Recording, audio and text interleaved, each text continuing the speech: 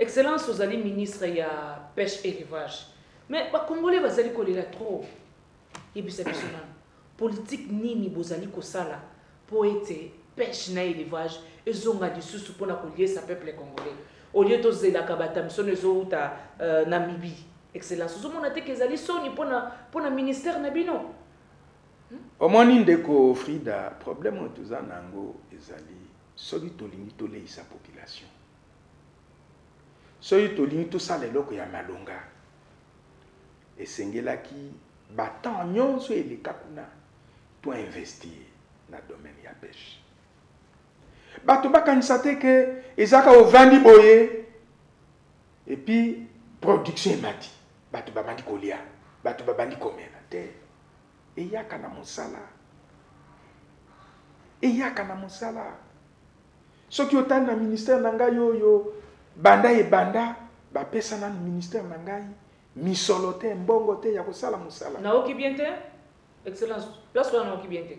olobi depuis ozwi bokambi ya ministère ya pêche te te te te nalobi ndenge wana te te eza kaka motuna eh. eh. te nazopesa histoire okay. ndenge ministère oyo ebandaka ebanda eh. ti baza kopesa yango moyen te lelo depuis 2021 ndenge tokomi na bokambemi ya félix antoine tshisekedi oyebi ke ye moko azoloba makambo ya peuple d'abord mm. peuple d'abord eza d'abord kolia eza kolia nde tobandi komona sikoyo na secteur oyo ya biso oyo babandi kopesa makoki mpo tozongela na problème ya bambisi problème ya bambisi euti euh, namibi Oyo biso tozo ko reproduire yango awa te, eza kaka motuna excellence. Eza kaka motuna, nayebi kozo sala allusion na makambo oyo elekaki avant fin de l'annee awa. A partir ya lelo ti bonane oyo ezo ya ekozala lokola ba bonane oyo eleka te. Ngai te, ngai mutu nazo loba te, excellence yanola. Bi bonane oyo ezo ya osala nini? ekozala lokola oyo eleki te bampiodi mosusu ekoya na basoso mais parce que parce que parce que parce que toza na programme yokana parce que toza na programme ya investissement likambo ya bampiodi mpe ezozongelanga mingi yana okisongisongi te eza kaka motuna eh, bampiodi tomonaka na bacarton mais totikala kolia yango te excellence wana eza motuna kolanda te wana eza makambo na ngai na population mpo hmm, nayoki obeti nga lisusu na likonga eh, eza kaka likambo ya mpiodi te eh, likambo ya mpiodilikambo ya mpiodi mama frida nayebisi yo ke moninga na ngai collègue na ngai ya ekonomi akopesa yo situation eh, nyonsopo wana wana ezaliezali problème ya basurgele oyo bakendeki kosomba na namibie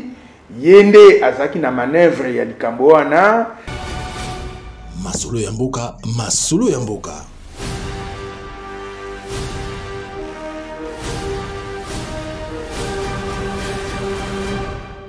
masolo ya mboka émission na bino ezalaka toujours wana na terrain Nayokaki kolela ya ba mama mingi. Abi ba mama, nga nazalaka wana toujours mpo nazwa ba mituna na bino botunaka nga mama Frida tokomi wapi? Ba mpiojo yango olobaki ke no ekowuta na Mibi, est ce que eya obi etikala koya te? Bolukela biso na ministre ya peche et elevage.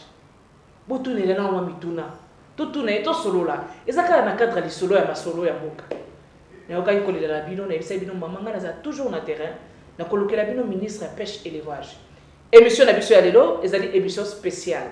mpo na ministere ya peche elevage. Invite na biso ya lelo azali ministre ya peche elevage. Bonjour excellence. Bonjour mama Frida. Bandeko ya masolo ya mboka balingi bayoka nanu yo moko se presenter avant tokota na masolo na biso ya lelo.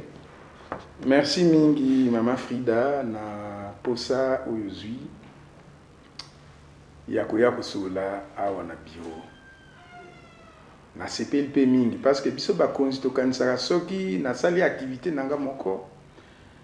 nalekisi na bachaîne moko songolo c'est-à-dire bato nyonso tu bazoyoka nga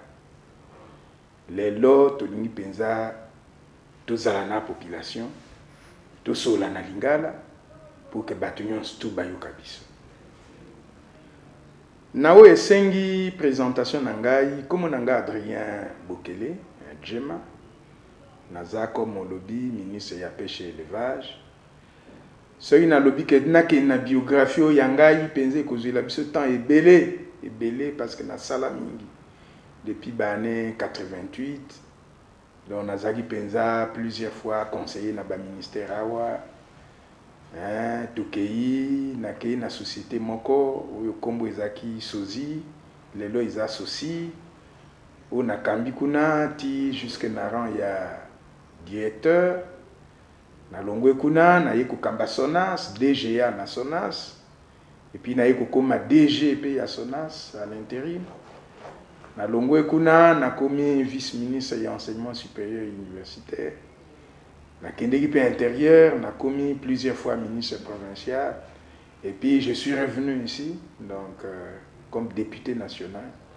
et puis après députation nationale nde sikoyo nakomi awa Na ministère ya peche pe elevage. Voilà. Voilà, wana ezali ministre ya peche pe elevage. Na koyoka yo bien mwana mboka Adrien ministre, ozali na parcours kitoko makasi. Mais depuis ozali ya na tete ya ministère oyo ya peche elevage, eloko nini ya malonga osi osali? Ovandi dejà yo moko bolobi ke non depuis na koti dejà na bokonzi oyo ya kokamba ministère oyo nasali dejà eloko moko boye. ndeti eloko nini merci mingi merci mingi parce que nayoki masolo ekomi kitoko mpo hein, bato ebele balobaka sans bayeba makambo nini baministre bazosala oyebi toyaki na mwa ya avril tata mokonzi anome biso na mwa ya avril toye kozwa mpenza ngbende mpenza ya bokonzi na mwa ya mai donc naloba kaka début juin nde tokomi sikoyo en fonction ministre nyonso mokonzi nyonso ere azoya na fonction na ye azalaka na eloko ya mosala na ye moko ezali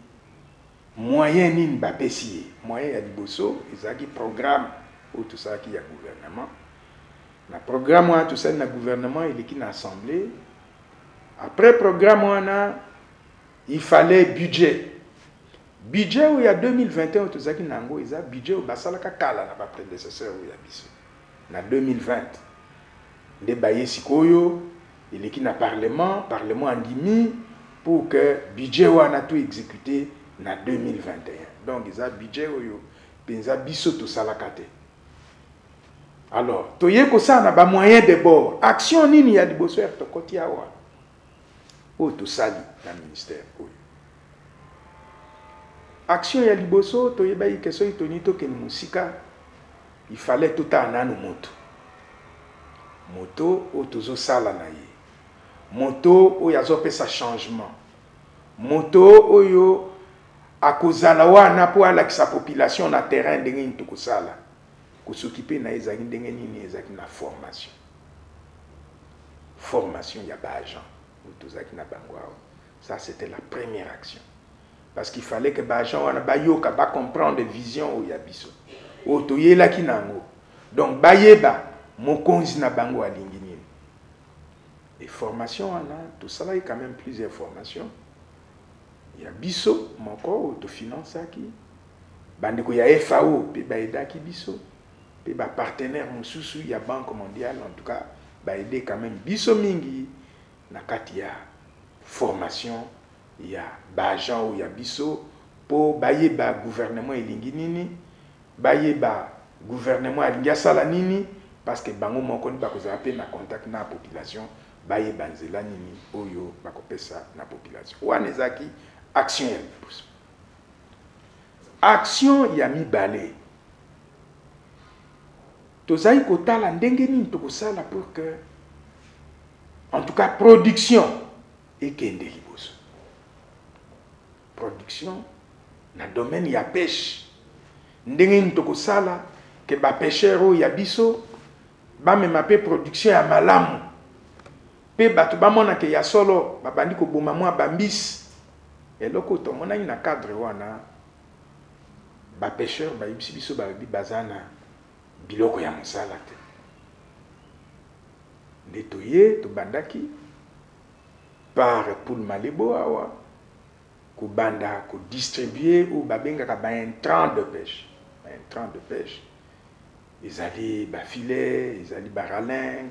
ezali ba maison wana oyo bando distribuer awa epa na biso awa na kinshasa awa na komi nini ba image ezali na kinkole ezaka mutuna na eh, komi nini na kinkole okay. parce na kinkole oyebi kinkole eza lokola cité moko symbole bato nyonso bayebaki kinkole eza ville ou village ya bapêcheur donc tobengisaki bapêcheur nyonso awa ya ville ya Kinshasa, ezala cote Kinsuka, ezala cote Ngambanzo, ezala cote nionso ya Maluku, ezala cote ya Masina, ezala cote ya Kingabwa, ya Gombe, bisika nionso oyo basalaka, tosanganaki kuna. Topesaki bango ba filets de peche, topesaki bango ba ralingues, topesaki bango ba hameçons, topesaki bango ba moteurs hors bord pour que vraiment e aider bango bakende liboso production na bango emata mpe topesaki bango bafile wana parce que tomonaki ke ebele bazalaki kosalela bafile moko ezalaki oyo tobenga na français inapproprie oya komona moto azwi utilize mpenza filet oyo eza malonga te filet oyo ezalaka te na filet wana bazozwa na mbisi ya mike mike mike mike mike lokola bamoustiquaire ebele bazoutilize bamoustiquaire koutilize bamoustiquaire en tout cas na peshe awa ezali koboma peshe parce que ozozwa na bambisi ya mike mike oyo tobengaka na français alevin oyo ekoki lobi kobota lisusu Pe kosala ke bana oyo ya biso oyo bazo ya sima bamona ke ya solo mbisi ezali. Mais soki biso lelo tozo pepa, tozo zwa na ba mbisi ya mike mike, bongo pona bana na biso ekozala ndenge nini? Yango wana ezalaki pe pour des raisons, na français, pedagogiques, des raisons ya kolakisa bango bamona filet wana eza caracteristique nini. ah donc tu utilise oyo ya moke te donc voilà tu utilise ya boye eloko wana nde tosalaka tosukaki kaka na kinshasa te programme ezali ti à travers tous les pays ke mpenza baintrant de pêche wana en tout cas todistribue yango bapêcheur nyonso bayeba yango wana dernièrement nake kopesa go na Goma, nazalaki wana na Bunia, na Goma sur le lac Edouard, nazalaki wana na distribuer mpenza mpe ba filets mosusu kuna to distribuer mpenza ba moteur hors bord tokei ti na Bunia, na Kasenyi, na Chomia, donc sur le lac Albert, donc na frontière na Ouganda, tozalaki wana tosololi mpe na ba pêcheurs ya kuna To sensibiliser bango pe bayokaki lokole wana. Bisika mosusu tozo continuer même soki nga na kete ba agents bazo continuer lokola par exemple na lac Tanganyika lokola par exemple oyo tobengaka na système ya fleuve Congo donc na fleuve Congo awa ti na ba affluents oyo ya fleuve Congo toyebi ba Kasai, Gwango, ba Kwilu tout ça donc mosala ezosalama wana ezalaki sur le plan ya relance oyo ya production wana ya peshe tosali mpe mosala mosusu na kote ya pisciculture toyebaki ke na kinshasa awa eza kaka peshe te bambisi oyo tozolia ebele mosusu ezowutela mpe na pisciculture yango wana toyokanaki na société moko tozwaki ba levin ebele ba levin eza ba mbisi ya mike mike mike mike mike nde tokaboli na ville ya kinshasa en tout cas ezala kote ya nsele bato bamonaki biso baimage ezali oyo oh, bato bamonaki biso tozodistribue donc na chaque moto nyonso oyo aza vraiment na baetan topesa ye 10 000 15 000 alevin Na Nsele, tokendeki na Nsele, cote est, tokendeki cote ouest, cote ya Bas-Congo. En tout cas, aujourd'hui, soki otuni bato na domaine oyo ya biso, ya pisciculture, bakoyebisa yo que, en tout cas, bambisi, tokabolaki bambisi ebele. Tosuki mpe kaka na bambisi te. nazosuka wana mpo nazomona koza impatiente excellence mwa mituna ezali mwa ebele oui tosuki kaka na mbisi te meme na biloko ya kolia parce que toyebi ke na pisciculture eza ka problème ya mbisi te toza kokabola na bato wana donc alimentation ya 6 mois ya bambisi Et tozali pe kokabuela bango. Donc non seulement ba levain oyo tozali kokabuela mais aussi biloko ya kolia ba aliments ya bambisi. Nasuki wana. Excellence ozali ministre ya pêche et élevage. Mais ba congolais bazali kolela trop. Yebisa biso nanu politique nini bozali kosala mpo ete peche na elevage ezonga lisusu mpo na koliesa peuple congolais olie tozelaka batamisono ezowuta uh, namibie excellence ozomona te ke ezali soni mpo na ministère na bino hmm? omoni ndeko frida problème oyo toza na yango ezali soki tolingi toleisa population soki tolingi tosala eloko ya malonga esengelaki batemp nyonso eleka kuna To investir na domaine ya pêche. Bato bakanisa te ke ezaka ovandi boye et puis production emati bato babandi kolia bato babandi komela te eyaka na mosala eyaka na mosala soki otali na ministère na ngai oyo banda ebanda bapesa nanu ministère na ngai misolo te mbongo te ya kosala mosala naoki bien te Excellence, place wana oki bien te. Olobi depuis ozui bokambi ya ministère ya pêche et Te te te te nalobi ndenge wana te. Te, eza ka mutuna. Eh. Eh. Te, nazo pesa histoire. Okay. Ndenge ministère oyo ebandaka. Ebanda. Eh. Ti baza ko pesa yango moyen te. Lelo depuis 2021 ndenge tokomi na bokambemi ya Felix Antoine Tshisekedi oyebi ke ye moko azoloba makambo ya peuple d'abord mm. peuple d'abord eza d'abord kolia eza kolia nde tobandi komona sikoyo na secteur oyo ya biso oyo babandi kopesa makoki nde tomoni na secteur oyo meme na budget oyo ya 2022 oyo bapesi makoki parce que eza mokonzi oyo azo comprendre que le peuple d'abord ya solo ezala ko eza éducation ezala ko eza banzela mais kolia ezali une priorité yango wana na mwa moyen oyo toza oyo bapesi biso lelo toza na baprogramme programme ya malamu programme mpenza ya kosalaka population esepela makambo mosusu ndenge nalobi awa To investir eza te kaka lelo tomona solution. Okoki kozala o investir, okoya komona solution après 4 mois, après 5 mois, après 6 mois. Des fois une année. Eh, des fois une année. Lokola par exemple oyo na, na, na uti koyebisa yo awa ke ba levin donc oyo tokabolaki na bilei ya kolia ya bambisi mais lelo na bandi oyoka bato na terrain Ah non, quand même moi changement. Moi changement. Je sais que c'était un début. Mais après six mois, après huit mois, après une année, donc il y a comme on a quand même moi solution na secteur wana. Pour tous on a un problème ya bambisi. Problème ya bambisi. Euh outil euh, Namibie. Oh biso tozo ko reproduire yango atezaka mutuna excellence. Ezaka mutuna nayebi kozo sala allusion na makambo elekaki avant fin de l'année awa. Ah, wana ezalaki dossier ya collègue na nga parce que biso nyonso tout tozo travailler conformément na ba attribution ya chaque ministère ye ndeko na ngai ya économie mosala na ye ezali approvisionnement intérieur biloko lokola ya ba surgele wana wana eza mosala na ye wana eza mosala na ye nakanisi osukaka epa na ngai awa te okende epa na ye akopesa yo baexplication me ngai nakoki ko apporter quand même solution je dois dire à la population que bonne année oyo ezoya à partir ya lelo ti bonne année ezoya ekozala lokola ba bonne année eleka te ngai te nga mutu nazoloba te excellence yanola bi bonne année ezoya osali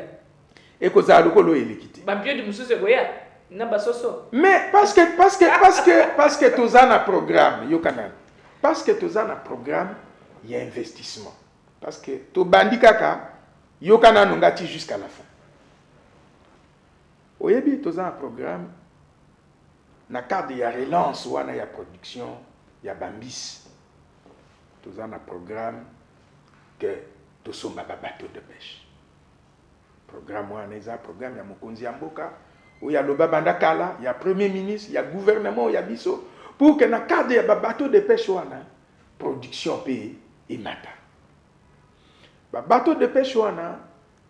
tokotia mosusu na cote maritime donc côté ya Matadi mosusu ekozala na partie lacustre c'est-à-dire ndenge nalobaki awa na lac Edouard na lac Albert na lac Tanganyika mpo keleisa mpe bana mboka oyo baza kote ya est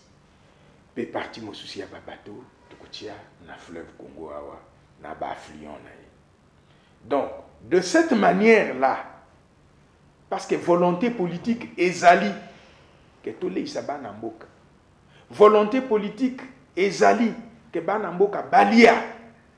Volonté politique ezali, que na mois ya décembre, en tout cas nga nazo croire, ya solo bana mboka bakosepela ekozala lokola décembre oyo eleki te. Donc decembre ya 2022 oyo ekozala decembre moko special. Nazozongela na motuna moko ndeko moko auti otindela ngai bi mama Frida tozolanda yo en direct na ministre ya pêche élevage yebisa ye nanu tunela biso motuna oyo yanola biso excellence yanola biso soki ezali ya lokuta yanola biso est ce que na mboka na biso tozalaka na bateau ya pêche Soki ezali, yanola biso. Soki eza te,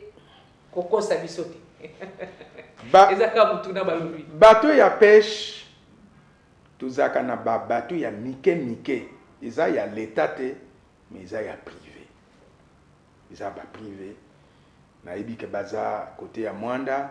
ata 3 ou 4 je crois société privée oyo baza na babato de pêche ya mike mike c'est-à-dire oyo ekoki koproduire lelo akei kopepa azongi aye na 3 tonne na ye ya poisson ake pepa azongi aye na 5 tonne na ye donc eza babato oyo ezopermettre te ke vraiment ebakisa lisusu production eh, eza ba bateau ezo permettre te que population alia penza yango wana gouvernement ezui mokano ezui décision que et somba ba bateau de pêche eza te que gouvernement nda ko gérer yango te gouvernement ako créer ba structure na ye na ba privé Mpe eza structure wana oyo ekotambola na ba principe ya gestion ya ba prive nde ekogere donc ba bato wana. Ba bato wana lelo ndenge nazoyebisa yo, lobi tozalaki en contact na collègue na ngai ya, ya Namibie, tozalaki en contact na place bampio de routi oui tozalaki na collègue bampio de yango mpe totikali mpe omona yango te nako expliquer yo nako expliquer yo parce que wana wana wana eza masolo wana okende koyebisa collègue eh excellence eza kaka mutuna eza masolo ya mboka ezanga te eh. kende nane pa collègue na ngai ya économie bon alors mpo tozongela na problème ya babateau de pêche Ba bateau de pêche oyo toza nango awa nayebisaki yo eza ya mike avant tocommande ba bateau de pêche toyeba ba bateau wana ekosala nini mosala nini oyo ekosala oyebi ndeko frida wana ifo population mpe eyeba toza mboka monene congo rdc Kasi nzela oyo ya biso ti na ocean toza na nzela moke na ocean accès na biso na ocean toza lokola baninga na biso baangolais te bato ya congo braza te bato ya namibi te parti oyo ya biso ya ocean eza moke mpe parti na biso ya peshe sur la voie maritime eza kaka plus ou moins 40 à 43 kilomètre pamba soki biso tolingi tosala pêche na babateau de pêche il faut tosala baaccord na baninga oyo baza na espace mingi lokola namibie lokola angola e au moment où tozosolola ngai na yo naza na contact na baninga tosi toyokani To signe ba contrat ba ndima que biso ba bateau oyo toko somba ekende ko pecher kuna mais po na kolia ya mboka na biso parce que toza quand meme na ba organisation na cadre ya sadec makambo wana ekoki kosalama tokende ko pecher kuna mais produit ya pêche oyo tokosala kuna ekoya po eleisa bana mboka awa Bon, po sikoyo tozwa bato wana oyo ekokende ekende kopeshe na Namibie, ekende kopeshe na Angola, il faut bato moko eza na autonomie ya en carburant oyo ekoki kokende awa ti ekomi kuna. Il faut ezala bato moko oyo ere ekokoma kuna eza ata deux semaines na haute mer, mosala na yango ezopeshe kaka kopeshe. Il faut ezala bateau moko soki eye awa na mboka na biso ezonga na ba 5, 500, 800, 900 tonnes donc et déverser pour la consommation en tout cas ya mboka na biso. Donc voilà toza wana wana ezali axe moko ya investissement oyo tolingi tosala na niveau ya gouvernement pour que population esepela mpe population emonaka ya solo politique oyo eye lelo ya gouvernement ya lelo ezali politique ya le peuple d'abord excellence ozali euh, ministre ya pêche élevage kabana ya lisolo pourquoi ministère oyo ezalaka négligé na mboka na biso mais tandis que na baétranger tomona yango eza ministère minene oyo ezoliesa euh, population mobimba ezoliesa euh, mboka na bango mais pourquoi awa na congo ministère oyo ya pêche élevage eza ministère moko négligé mais tandis que eza capacité ya koliesa mboka mobimba nayebisaki yo ke liboso ezalaki ministère moko négligé donc na miton eza sous négligé te non ezali sous négligé te parce que soki otali lelo na budget oyo tosali donc okomona réellement que on a mis de moyen mpo na baachat ya, ya babato omona ke moyen ezali mpo na par exemple relance ya, ya pêche omona ke moyen ezali mpo na relance ya aquaculture pardon omoni ke bacrédit ezali ainsi de suite même côté élevage bacrédit ezali donc ce qui fait que maintenant là mosala ezobanda ya solo voilà. excellence ah. ministère nanu oyo ya pc élevage oyo ezala combien direction bon ministère oyo d'abord eza na badirection oyo tobengaka normative donc ezali toza na badirection mosusu oyo tobengelaka baservice euh, euh, spécialisé ezali mais nyonso ezali na badirection normative na baservice ba spécialisé ezali 19 donc nde ezosala mosala nde ezali koentoure ngai na secrétaire général donc tozosala mosala pour que population esepela voilà wana tozwa nanu ba image ya ministre ya pêche élevage oyo azalaka toujours na terrain parce que population ebele mitunaka bi mama frida est ce que ministre akita mpe na terrain bozwa nao bilili ebongo tokutana na nsima masolo ya mboka masolo ya mboka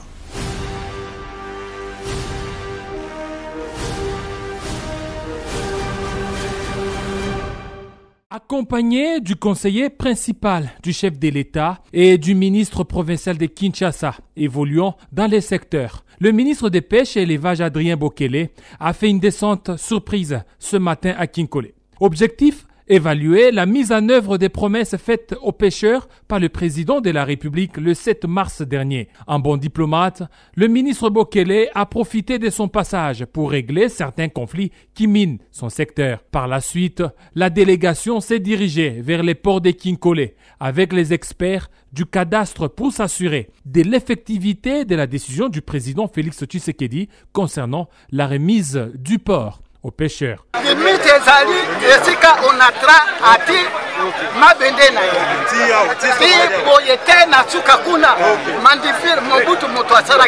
C'est par une causerie morale avec certains agents de son administration à qui le ministre a promis de régulariser leur situation qu'a pris fin cette séance de travail.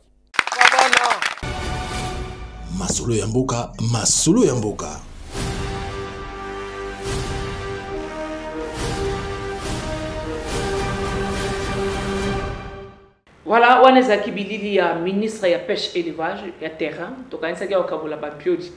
likambo ya bampiodi mpe ezozongelanga mingi yana okisongisongi te eza kaka motuna eh, bampiodi tomonaka na bacarton mais totikala kolia yango te excellence wana eza motuna kolanda te wana eza makambo na ngai na population mm. excellence motuna moko eyelaki biso euh, comment ça se passe partenariat na bino entre ministère ya pêche na élevage na fao Merci pour na motuna na mais avant na yanola motuna wana po na yoki obeti nga lisusu na likonga eh, eza kaka likambo ya mpiodi te eh, likambo ya mpiodi